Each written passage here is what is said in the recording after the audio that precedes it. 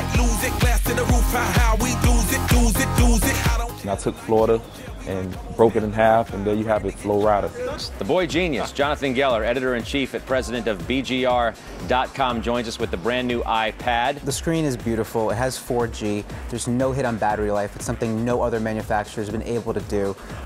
Are they going to come out with a mini iPad? You know, I think they will. I think it depends on really what happens with the market.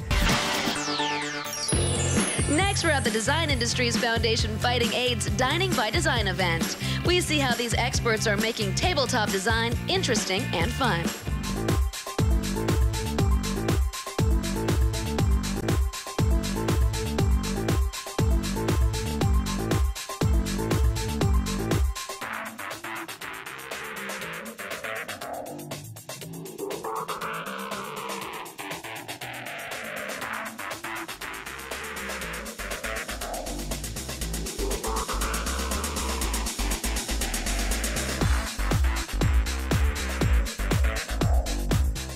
Would you like to own a piece of rock and roll history? More than 700 items are up for grabs in the Rock and Roll Pop Culture Auction. The New York based shop has placed nearly 700 lots up for grab on its website in a sale called the Rock and Roll Pop Culture Auction. VH1 Save the Music is extremely important to me because uh, right now in the, uh, you, the kids in public schools don't even get to take a book home and a lot of the arts programs have all been shut down. When I get that feeling,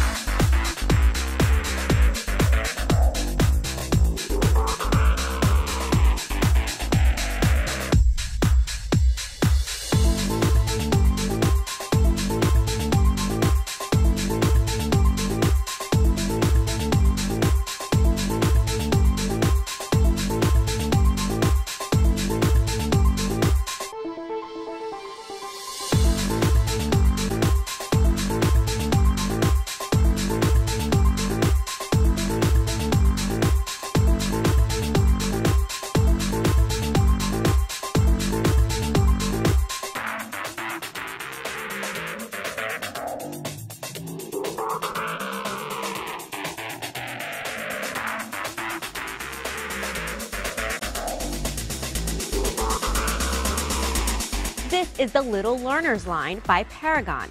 For ages six months and up, these books introduce tiny tots to basic concepts. And to put it in perspective, privacy is about three simple things transparency, choice, and control. They're new, they're hip, they're fast. We're talking about mobile payment apps. When that bank account debit is done, it's an immediate removal of money from your bank.